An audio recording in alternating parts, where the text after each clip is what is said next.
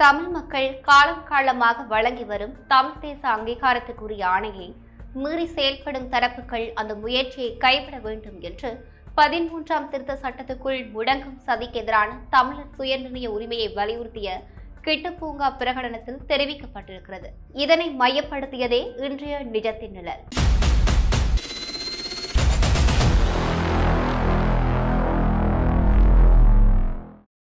தமிழ் தேசிய மக்கள் முன்னணி அகில இலங்கை தமிழ் காங்கிரஸ் ஆகிய கட்சிகளின் ஏற்பாட்டில் யாழ்ப்பாணம் நல்லூர் அடியில் அமைந்துள்ள திலீபன் நினைவு தூவி அடியில் ஆர்வமாகிய பேரணி ஆயிரக்கணக்கான மக்களுடன் உணர்வெழுச்சி பூர்வமாக கிட்டுப்பூங்காவில் துறைவடைந்தது சிங்கள பௌத்த மேலாதிக்க ஒடுக்குமுறைகளுக்கு எதிராக போராடி வரும் தமிழ் தேசமானது தனது அடிப்படையான அரசியல் உரிமைகளான வடக்கு கிழக்கு இணைந்த தாயகம் தமிழ் தேசம் அதன் இறமை சுயநிர்ணய உரிமை அடிப்படையிலான தீர்வில் எப்போதும் உறுதியாக இருக்க வேண்டும் என்ற செய்தியை சிங்கள தேசத்திற்கும் இலங்கை தீவின் மீது கரிசனை கொண்டிருக்கும் சர்வதேச சக்திகளுக்கும் இத்தொடர் போராட்டம் வலியுறுத்தப்பட்டதாக கூறப்படுகிறது. சிங்கள பௌத்த பெரும்பான்மை மக்களின் ஏகோபித்த வாக்குகளால் ஆட்சி பீடம் ஏறியுள்ள இன்றைய அரசாங்கத்தால் இலங்கைக்கான நான்காவது அரசியலமைப்பு கொண்டு வரப்பட உள்ளது அதை இந்த வருடத்துக்குள் நிறைவேற்ற உள்ளதாக இவ்வரசாங்கத்தால் பிரகடனப்படுத்தப்பட்டுள்ளது. அது இறுக்கமான ஒற்றையாட்சிக்கு உட்பட்டதாகவே அமையும் என்பதையும் அரசாங்கம் உறுதிப்பட கூறியிருக்கிறது. இந்த அரசியல் அமைப்பை ஒரு தலைப்பட்சமாக நிறைவேற்றுவதற்குரிய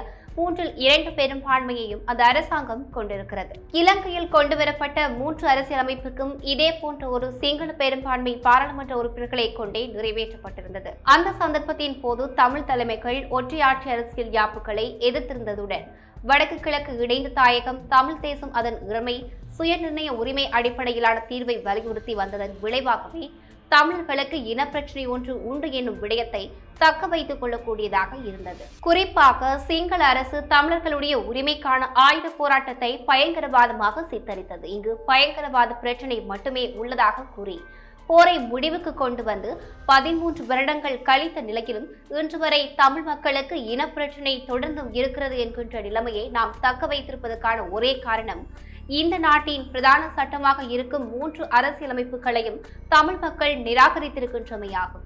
இவ்வாறு இருக்க ஆயிரத்தி தொள்ளாயிரத்தி எண்பதாம் ஆண்டுகளில் இலங்கையை மையமாக கொண்டிருந்த அமெரிக்க இந்திய பூகோள போட்டி காரணமாகவே இந்தியா தனது நலனை அடைவதற்காக தமிழர்களின் இனப்பிரச்சனையை கையில் எடுத்திருக்கிறது ஆயிரத்தி தொள்ளாயிரத்தி எண்பத்தி ஏழாம் ஆண்டில் இலங்கையானது இந்திய நலன் சார்ந்து செயற்பட தயாராகி இருந்த நிலையில் இந்தியா தனது தேசிய பாதுகாப்பு நலனை உறுதிப்படுத்தி சிங்கள தரப்புடன் உடன்பட்ட பின்னர் எந்த ஒற்றையாட்சிக்கு எதிராக தமிழ் தரப்பை பயன்படுத்தியதோ அதே ஒற்றையாட்சிக்குள்ளான பதிமூன்றாம் திருத்தத்தையே தமிழ் மக்களுக்கான தீர்வாக இலங்கை அரசு முன்வந்திருந்த நிலையில் தமிழ் தரப்பை இந்தியா கைப்பற்றிருந்தது.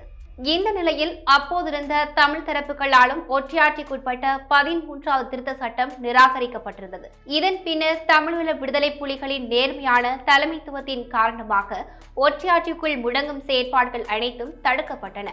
இரண்டாயிரத்தி ஐந்தாம் ஆண்டுக்கு பின்னர் இந்திய சீன பூகோள போட்டி மீண்டும் இலங்கையில் உருவாகியிருந்த பின்னணியிலேயே ஒரு இனக்கொலையின் ஊடாக போராட்டம் மௌனிக்கப்பட்டிருந்தது. இதன் பின்னர் இந்தியா மீண்டும் தனது ஆதிக்கத்தில் உள்ள தமிழ் தரப்புகளை பயன்படுத்தி தமிழரசியலை ஒரு துருப்புச் சீட்டாக கையாண்டு இலங்கை அரசோடு பேரம் பேசி வருகின்றது. இலங்கை சீனாவின் விவகாரத்தில் இந்தியாவினுடைய நலனுக்கு அச்சுறுத்தல் ஏற்படாத வகையில் செயற்படுமானால் இந்திய ஆதிக்கத்துக்குட்பட்ட தமிழ் தரப்புகளை பயன்படுத்தி தமிழரின் அரசியலை ஒற்றையாட்சிக்குள்ளான பதிமூன்றாம் திட்டத்துக்குள் முடக்குவதற்கும் இணங்கி இருக்கிறது. இந்த பின்னணியிலேயே இந்திய ஆதிக்கத்துக்குட்பட்ட தமிழ் தரப்புகளான இலங்கை தமிழரசு கட்சி தமிழீழ விடுதலை கழகம் ஜனநாயக மக்கள் விடுதலை முன்னணி தமிழ் தேசிய கூட்டமைப்பு மற்றும் தமிழ் மக்கள் கூட்டணி ஈழ மக்கள் புரட்சிகர விடுதலை முன்னணி தமிழ் தேசிய கட்சி உள்ளிட்ட தமிழ் தேசிய கூட்டணியும் இணைந்து பதிமூன்றாம் திருத்தத்தை முழுமையாக நடைமுறைப்படுத்துமாறு கோரி கூட்டாக கையொப்பமிட்ட கடிதத்தை பதினெட்டு ஒன்று இரண்டாயிரத்தி இருபத்தி இரண்டு அன்று இந்திய தூதுவரிடம் கையளித்துள்ளனர்.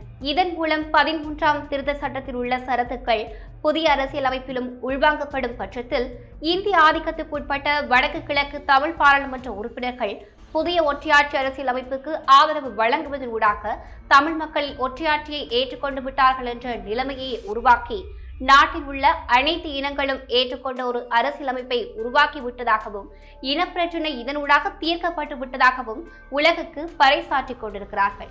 இந்த ஆபத்தில் இருந்து தமிழ் தேசத்தை மீட்டெடுப்பதற்கு தமிழ் தேச மக்கள் அணிதிரள்வதன் ஊடாகவே தடுத்து நிறுத்த முடியும் எனும் யதார்த்தத்தை விளங்கிக் கொண்டு இந்த தொடர் போராட்டம் பின்வருவனவற்றை பிரகடனப்படுத்தி நிற்கிறது. தமிழ் தேச மக்கள் தொடர்ச்சியாக ஒற்றையாட்சியை நிராகரித்து தமிழ் தேசத்தை அங்கீகரிக்கின்ற ஒரு தீர்வை எழுபது வருடங்களுக்கு மேலாக வலியுறுத்தி வருகின்ற நிலையிலேயே இரண்டாயிரத்தி ஒன்பதாம் ஆண்டில் இனவழிப்புக்கு உள்வாக்கப்பட்ட பின்னரும் ஒற்றையாட்சியை நிராகரித்தும் தமிழ் தேசத்தின் அங்கீகாரத்தை கோரியும் ஒவ்வொரு தேர்தல்களின் ஊடாக தங்களது ஏகோபித்த ஆணையை வழங்கி வந்திருக்கிறது.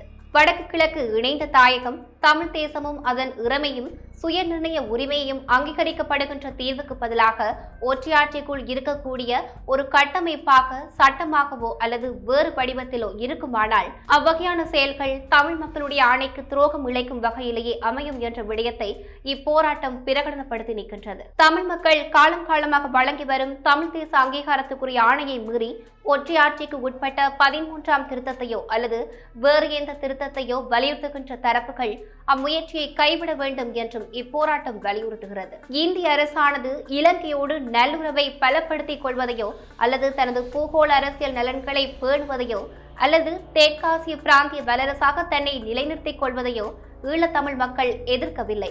இந்தியாவை எமது நட்பு சக்தியாக கருதுகிறோம். இந்தியாவின் தேசிய நலனை பேணுவதில் எமக்கு மிகுந்த விருப்பமும் அக்கறையும் ஈடுபாடும் உண்டு. ஆனால் தமிழ் மக்கள் தமது நட்பு சக்தியாக கருதும் இந்தியா தமது பூகோள நலன்களை பூர்த்தி செய்வதற்காக தமிழ் மக்களை பலிக்கடாவாக்கி தமிழ் மக்களின் நலன்களை முற்றாக புறக்கணிக்கும் செயற்பாட்டை நிறுத்துமாறு கோருகின்றோம். தமிழ் மக்கள் எழுபது வருடங்களுக்கு மேலாக தொடர்ச்சியாக வலியுறுத்தி வருகின்ற வடக்கு கிழக்கு இணைந்த தாயகத்தில் தமிழ் மக்கள் எழுபது வருடங்களுக்கு மேலாக தொடர்ச்சியாக வலியுறுத்தி வருகின்ற வடக்கு கிழக்கு இணைந்த தாயகத்தில் தமிழ் தேச அங்கீகாரத்தையும் அதனுடைய தனித்துவமான உரிமையையும் சுய நிர்ணய உரிமையையும் முழுமையாக அனுபவிக்கக்கூடிய சமஷ்டி அடிப்படையிலான தீர்வை அடைய இந்திய அரசும் ஏனைய நட்பு நாடுகளும் இலங்கையை வலியுறுத்த வேண்டும் என்றும் இப்போராட்டம் கோருகின்றது. மற்றும் ஒரு நிஜத்து நிழல் நிகழ்ச்சியில் ஊடாக இணைந்திருக்கும் வரை உங்களிடம் இருந்து விடைபெறுகிறேன். இது போன்ற பல செய்திகளை தெரிந்து கொள்ள நம்முடைய சமூக மீடியா யூடியூப் சேனலை சப்ஸ்கிரைப் செய்து அருகில் உள்ள பெல் பட்டனை கிளிக் செய்யுங்கள். மேலும் செய்திகளை உடனுக்குடன் தெரிந்து கொள்ள சமூக மீடியா டாட் காம் என்ற இணையதளத்தின் வாயிலாக எங்களுடன் இணைந்திருங்கள்.